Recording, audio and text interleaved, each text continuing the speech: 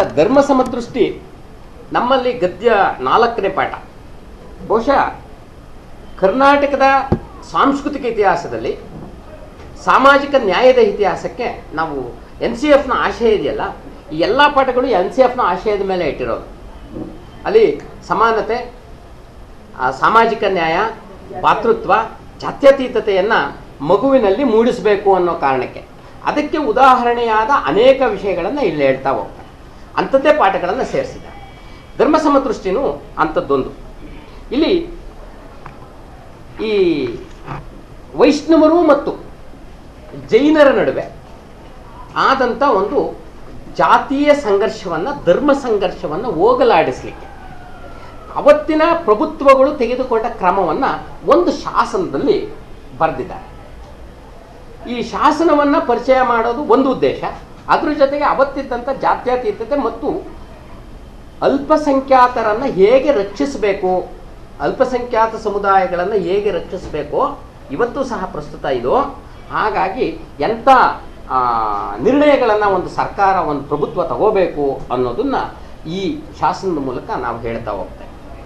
ಅಲ್ಲಿ ವೈಷ್ಣ ಜೈನರಿಗೆ ತೊಂದರೆ ಆಗ್ತಾ ಇತ್ತು. ಜೈನರು ಅಲ್ಪಸಂಖ್ಯಾತರಾಗಿದ್ದರು ವೈಷ್ಣವರು ಬಹುಸಂಖ್ಯಾತರಾಗಿದ್ದರು ಬಹುಸಂಖ್ಯಾತರು ವೈಶ, ಅಲ್ಪಸಂಖ್ಯಾತರ ಮೇಲೆ ಹೆಚ್ಚು ದಾಳಿಗಳನ್ನು, ತೊಂದರೆಗಳನ್ನು ಕೊಡ್ತಾ ಇದ್ರು ಅನ್ನೋದು ಈ ಶಾಸನದಲ್ಲಿ ನಮಗೆ ಕಂಡು ಬರ್ತಕ್ಕಂಥ ಅದಕ್ಕೆ ಆತ ಯಾರು?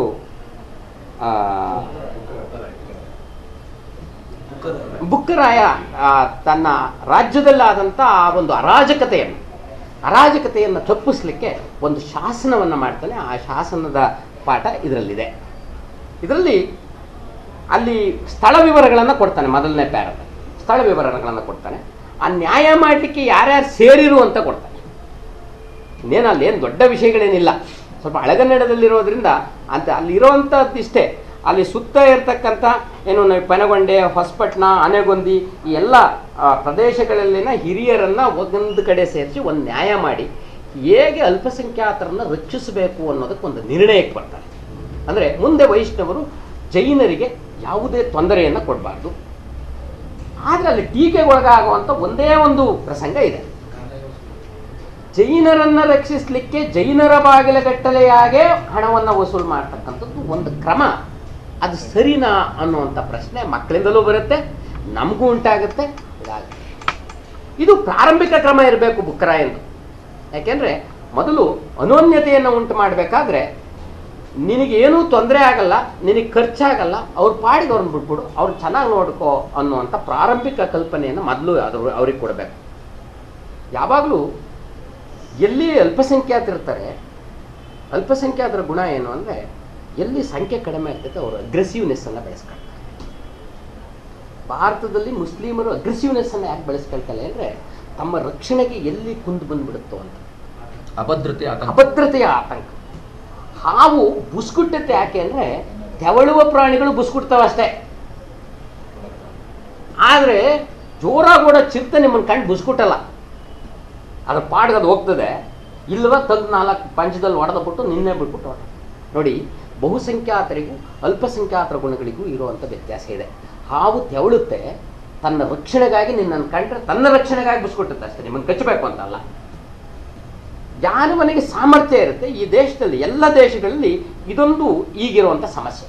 ಎಲ್ಲ ದೇಶಗಳಲ್ಲಿ, ನಮ್ಮ ದೇಶಗಳಲ್ಲ ಎಲ್ಲ ದೇಶಗಳಲ್ಲಿ ಇರುವಂಥ ಸಮಸ್ಯೆ. ಬಹುಸಂಖ್ಯಾತರು ಮತ್ತು ಅಲ್ಪಸಂಖ್ಯಾತರ ನಡುವಿನ ಕದನಗಳು, ಭಿನ್ನಾಭಿಪ್ರಾಯಗಳು. ಅಲ್ಪಸಂಖ್ಯಾತರನ್ನ ಯಾವಾಗಲೂ ತುಳಿಲಿಕ್ಕೆ ಬಹುಸಂಖ್ಯಾತರು ನೋಡ್ತಾ ಇರ್ತಾರೆ. ಅದಕ್ಕೆ ಇದು ಇವತ್ತಿಂದಲ್ಲ, ಅವತ್ತಿಂದು. ಅವತ್ತು ಅದಕ್ಕೆ ಅವ ಆತ ಕಂಡುಕೊಂಡ ಒಂದು ಪರಿಹಾರವನ್ನಷ್ಟೇ ಇಲ್ಲಿ ಸೂಚಿಸಿದ್ದಾರೆ. ಏನ, ತುಂಬ ಕಷ್ಟದ ಪಟ್ಟಿ ಅಲ್ಲ ನನ್ನ ಪ್ರಕಾರ. ಈ ಧರ್ಮ ಸಮದೃಷ್ಟಿ ಓದಿಸ್ಲಿಕ್ಕೆ ತುಂಬ ಕಷ್ಟದ ಪ್ರ ಪದಾರ್ಥಗಳಷ್ಟೇ ಇಲ್ಲಿ ಮುಖ್ಯ. ಪದಾರ್ಥಗಳಷ್ಟೇ ಮುಖ್ಯ. ಅಲ್ಲಿ ಮಕ್ಕಳು ಕೇಳುವಂಥದ್ದು ಅದೊಂದು ಪ್ರಶ್ನೆಯನ್ನು ನೀವು ಎತ್ತುತ್ತಾರೆ. ಸಾಮಾನ್ಯ ನೀವು ಕ್ಲಾಸ್ ರೂಮಲ್ಲಿ ಪಾಠ ಮಾಡ್ಬೇಕಲ್ಲ ಸರ್ ಅವ್ರು ರಕ್ಷಿಸೋಕೆ ಅವ್ರ ತೊಲೆ ದುಡ್ಡು ಇಸ್ಕೊಂಡು ಅವ್ರನ್ನೇ ಕಾಯ್ಬೇಕಾ? ಅನ್ನುವಂಥ ಪ್ರಶ್ನೆಗಳು ಬರ್ಬೋದು. ಅಂಥ ಪ್ರಶ್ನೆಗಳಿಗೆ ಸಮರ್ಥವಾಗಿ ಉತ್ತರ ಕೊಟ್ಟೆ ಧರ್ಮ ಸಮದೃಷ್ಟಿ ಪಾಠ ಮಾಡೋದು ಅಷ್ಟೊಂದು ಕಷ್ಟದ ಕೆಲಸ ಅಲ್ಲ ಅಂತ ನನ್ಗನ್ಸುತ್ತೆ.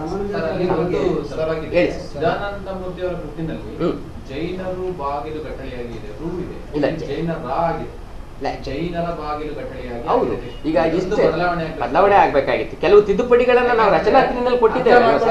ಹೌದು. ವೈಷ್ಣವರ ಬಗ್ಗೆ ಹೇಳ್ಕೊಂಡು ಬಂದಿದ್ದಾರೆ. ಈಗೆಲ್ಲ ಇವ್ರನ್ನ ಕಾಪಾಡ್ಬೇಕು ಅಂತ ಕಾಪಾಡ್ಬೇಕು ಜೈನರ ಬಾಗಿಲು ಕಟ್ಟಳೆಯಾಗಿ ಹಣವನ್ನ ಕೊಡಬೇಕು ಅಂದಾಗ ವೈಷ್ಣವರು ಕೊಡಬೇಕು ಅನ್ನುವಂತ. ಜೈನರೇ ಕೊಡ್ಬೇಕಾಗಿದೆ. ಅವರನ್ನ ರಕ್ಷಿಸ್ತಾರೆ ಸರ್ ಯಾಕಂದ್ರೆ ಬಹುಸಂಖ್ಯೆ ವ್ಯಾಪಾರಸ್ಥರಾಗಿದ್ರು ಅವ್ರ ಹತ್ರ ದುಡ್ಡಿತ್ತು. ದುಡ್ಡಿತ್ತು. ಕೊಡ್ಲಿ. ಅದೊಂದು ಕೊಡ್ಲಿ. ಹೌದು. ಆಮೇಲೆ ಇನ್ನೊಂದೇನು ಅಂದ್ರೆ ಬಹುಸಂಖ್ಯಾತರು ಇದ್ದಾಗ ಅವ್ರ ಮೇಲೆ ದುಡ್ಡಿನ ಹೊರೆ ಹಾಕ್ಬಿಟ್ರೆ ನಾನೇ ದುಡ್ಡು ಕೊಡ್ಬೇಕು? ನನ್ನ ರಕ್ಷಿಸಕ್ ನಾನೇ ದುಡ್ಡು ಕೊಡ್ಬೇಕು ಅಂತಾರೆ. ಅವ್ರನ್ನ ರಕ್ಷಿಸಕ್ ನಾನೇ ದುಡ್ಡು ಕೊಡ್ಬೇಕು ಅಂತಾರೆ. ಹಾಗಾಗಿ ಒಂದು ತಂತ್ರ ಅದು. ನಿಮ್ಮಿಂದ ಹಣ ತಗೊಂಡು ರಕ್ಷಣೆ ಕೊಡ್ತಾರೆ. ರಾಜಕಾರಣದ ಒಂದು ತಂತ್ರ ಅದು. ನಿಮ್ಮಿಂದಲೇ ಒಂದಷ್ಟು ಹಣ ತಗೊಂಡು ನಿಮ್ಮನ್ನ ಸೇಫ್ ಆಗಿಡುವಂತ ಕೆಲಸವನ್ನ ಅವನು ತುಂಬಾ ರಾಜತಾಂತ್ರಿಕತೆಯನ್ನ ಬುಕ್ಕರಾಯ ಮೆರಿತಾನೆ. ಅದು ಈ ಧರ್ಮ ಸಂಬಂಧ ಅವ್ರ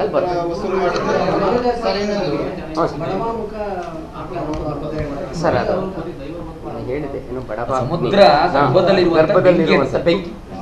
ಸಮುದ್ರದ ತಳದಲ್ಲಿರ್ತಕ್ಕಂಥ ಬೆಂಕಿ ಇದೆಯಲ್ಲ? ಇಲ್ಲಿ ಇದ್ರ ಬಗ್ಗೆ ರಾಮಾನುಜಾಚಾರ್ಯ ಬಗ್ಗೆ ಹೇಳ್ಬೇಕಾದ್ರೆ ಯಾಕೆ ಪದವನ್ನ.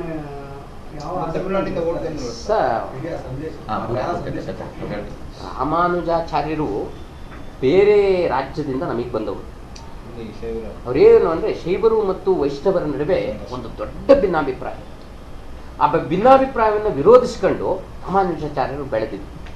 ನೀವು ಯೋಚನೆ ಮಾಡಿ ಯಾರು ತುಂಬ ಆ, ದಾಳಿಗೆ ಒಳಗಾಗ್ತಾರೆ ಬೇರೆಯವರಿಂದ ತೊಂದರೆಗೊಳಗಾಗ್ತಾರೆ ಅವನ ಎದೆಯಲ್ಲಿ ತನ್ನನ್ನು ತಾನು ರಕ್ಷಿಸಿಕೊಳ್ಳಕ್ಕೆ ಒಂದು ದೊಡ್ಡ ಬೆಂಕಿ ಸೃಷ್ಟಿಯಾಗ್ತದೆ. ರಾಮಾನುಜಾಚಾರ್ಯರು ವೈಷ್ಣವ ಧರ್ಮವನ್ನು ಉಳಿಸೋದ್ರಲ್ಲಿ ಅಂಥದ್ದೊಂದು ಬೆಂಕಿಯನ್ನು ಶೇಖರಿಸ್ಕೊಂಡಿದ್ರು. ಧಾರ್ಮಿಕವಾಗಿ ಧಾರ್ಮಿಕವಾಗಿ. ಅದಕ್ಕೆ ಕರ್ನಾಟಕದಲ್ಲಿ ಅವ್ರು ಬಂದು ಇಡೀ ಒಂದು ಸಮುದಾಯವನ್ನು ತನ್ನ ತೆಕ್ಕೆಗೆ ತಗೊಂಡ್ರು. ಆ ವೈಷ್ಣವ ಧರ್ಮವನ್ನು ಕಟ್ಟಲಿಕ್ಕೆ ಬಟ್ ಅವ್ರಿಗೆ ಶೈವರು ಮತ್ತು ವೈಷ್ಣವರ ನಡುವೆ ಒಂದು ದೊಡ್ಡ ಯುದ್ಧ ಆಗುತ್ತೆ. ಆ ಟಾರ್ಚರ್ ಅಂದರೆ ಟಾರ್ಚರ್ ಅದು ನಮ್ಮ ಸಾಂಸ್ಕೃತಿಕ ಇತಿಹಾಸವನ್ನು ಓದಿದ್ರೆ ಗೊತ್ತಾಗುತ್ತೆ. ನಾವು ಚಿದಾನಂದ ಮೂರ್ತಿಯವ್ರದ್ದು ನೀವು ಎಲ್ಲ ಇತಿಹಾಸವನ್ನು ಓದಿದ್ರೆ ಗೊತ್ತಾಗುತ್ತೆ. ಇತಿಹಾಸವನ್ನು ನಾವು ಬೇರೆ ಬೇರೆ ಮಗ್ಗಲುಗಳಿಂದ ನೋಡಬೇಕಾಗ್ತದೆ.